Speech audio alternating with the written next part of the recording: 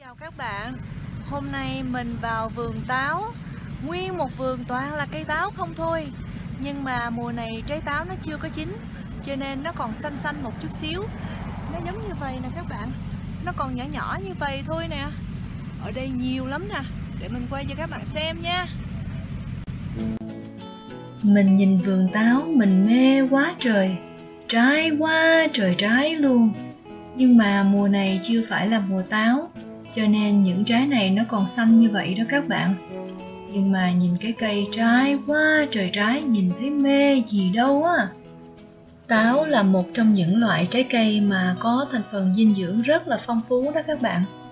Và táo cũng là một trong những trái cây mà được ưa chuộng nhiều nhất trên thế giới. Theo như mình nghĩ á, thì người nào ở bất cứ nước nào cũng đều thích ăn trái táo và cũng đều biết đến trái táo hết theo như mình thấy thì trái táo rất là thông dụng. Trái táo bình thường thì mình ăn như là một thứ trái cây rồi thì cái đó mình không nói đi. Rồi táo bây giờ người ta làm bánh táo nè rồi nước ép trái táo nè rồi um, bây giờ người ta không làm món snack bằng khoai tây nữa mà người ta dùng táo để làm snack nữa nè. Người mỹ thì họ có câu là one apple a day keep the doctor away có nghĩa là nếu mà ăn một trái táo một ngày thì không cần phải đi gặp bác sĩ. Có nghĩa là con người của mình sẽ khỏe hơn, không có bị mắc bệnh nhiều đó các bạn. Các bạn nhìn thấy không? Cả một vườn táo luôn. Hết hàng này đến hàng nọ, toàn là cây táo không thôi à.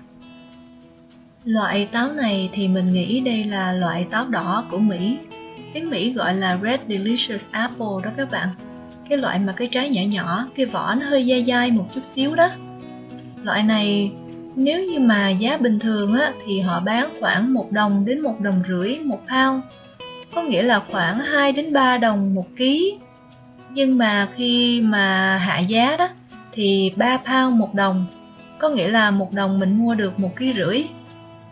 Còn khi mà mình vào vườn thăm như vậy á, thì họ không có tính tiền đâu thường họ chỉ tính tiền khi mà mình hái xuống rồi mình bỏ vào trong cái thùng hay trong một cái bao.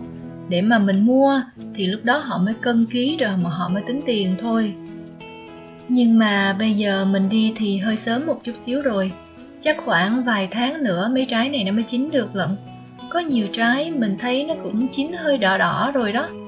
Nhưng mà rất là nhiều trái còn non xèo, còn nhỏ xíu à.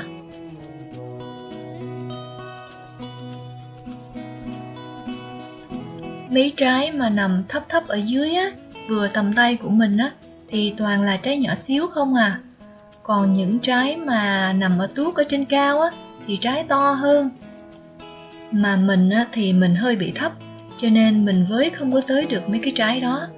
Mình đang đứng, mình nhón chân dữ lắm rồi đó.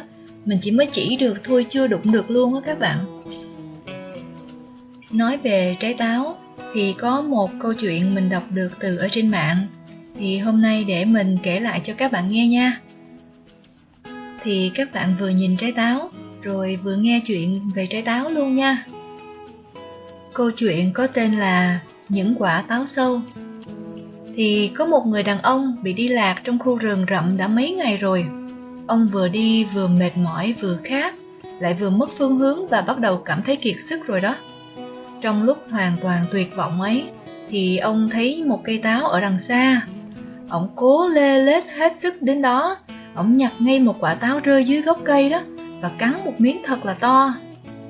Nhưng mà quả táo đầy sâu hết. Ổng cứ cắn một miếng là phát hiện ra quả táo bị sâu, Cho nên ổng phải nhả ra. Ổng nhặt hết quả táo này đến quả táo khác, Mà cứ cắn vô là thấy sâu. Ổng còn cố hái những trái ở trên cây nữa. Nhưng mà trái nào cũng bị sâu hết. Không còn sự lựa chọn nào khác hết cho nên ổng đành phải nhắm mắt lại và cắn thật nhanh. Rồi nhai vội, rồi nuốt xuống, không dám mở mắt ra, tại vì nếu mà mở mắt ra là sẽ nhìn thấy những con sâu. Nhờ những trái táo sâu đó mà ổng đã sống sót và có sức lực để đi tiếp cuộc hành trình của ổng. Mình đọc được câu chuyện này ở trên mạng, thì khi kết thúc á, họ muốn nhắn nhủ rằng là trong cuộc sống của mình sẽ có những tình huống hay có những sự thật đôi khi um, rất là khó khăn và rất là nghiệt ngã. Nhưng mà nếu như mình dũng cảm đối mặt để vượt qua được á giống như là cái ông này ổng dũng cảm nhắm mắt lại để mà cắn những quả táo có sâu á thì chúng ta sẽ trưởng thành hơn. Thì những cái nghịch cảnh những cái thử thách đó sẽ làm cho mình trưởng thành. Rồi à, mình bước qua được mọi khó khăn sau này mình thì lâu lâu mình cũng hay kể chuyện cho con mình nghe trước khi mà nó đi ngủ đó. Thì mình mang những câu chuyện này để mình kể cho nó nghe, để biết được rằng là trong cuộc sống không phải lúc nào cái gì nó cũng êm đẹp hết. Giống như trái táo vậy đó, không phải lúc nào trái táo nó cũng ngọt, cũng thơm. Sẽ có những trái táo sâu, rồi trong cuộc sống giống như đi học, giống như mấy đứa nhỏ nhà mình đi học cũng vậy. Sẽ có những bài kiểm tra không có được điểm tối đa hay là không có được điểm tốt nhưng mà không có nghĩa là mình sẽ vứt bỏ hết tất cả thì mình vẫn phải cố gắng để mà vượt qua thôi. Hôm nay đi thăm vườn táo nhìn thấy một vườn táo cây nào cũng đẹp quá trời cho nên mình làm video để mình chia sẻ với các bạn. Rồi sẵn dịp nhìn những trái táo như vậy thì mình kể các bạn nghe câu chuyện về trái táo mà mình đọc được thôi. À, nếu như mà các bạn không thích thì mình thật lòng xin lỗi nha. Mong các bạn thông cảm cho.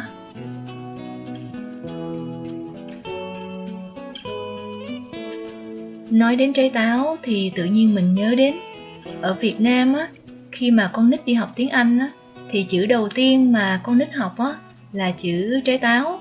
Tại vì mình nhớ, cuốn sách nào cũng vậy, mở ra, cái trang đầu tiên hết là A is for apple. Cứ chữ A là apple.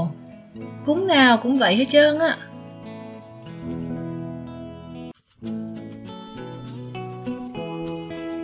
Nhìn những trái táo lủng lẳng như vậy thì mình nhìn thấy rất là thích. Nhưng mà đứng từ xa xa thì mình sẽ không thấy trái đâu các bạn. Tại vì màu nó còn xanh chung màu với lá nữa, cho nên khó nhìn thấy lắm. Đi gần gần lại, quay gần lại thì mới thấy rõ, mới thấy nó đẹp. Mai mốt khi mà trái nó chín đỏ rồi đó, chắc lúc đó nhìn rất là đẹp. Tại vì trái đỏ nằm trên cái cây có lá màu xanh, nó sẽ nổi bật lên nữa. Chắc lúc đó sẽ đẹp lắm á ha sẽ giống như những bức tranh khi mà họ vẽ cây táo đó. Nhìn xa xa thấy một cái cây xanh xanh, nhưng mà có những chấm đỏ đỏ nằm ở trên là những trái táo đó. Chỉ mới tưởng tượng thôi đã thấy rất là đẹp rồi. Cảnh thiệt chắc là sẽ đẹp hơn nữa đó. Cảm ơn các bạn đã xem video nha. Nếu như bạn nào chưa bấm nút đăng ký, thì xin hãy bấm nút đăng ký liền bây giờ nhé. Để sau này khi mình post video mới lên á thì các bạn sẽ nhận được thông báo qua email. Và các bạn nhớ bấm luôn nút like nữa nhé. Mến chúc các bạn một ngày thật vui vẻ. Xin chào tạm biệt và hẹn gặp lại các bạn trong những video sau nữa nhé.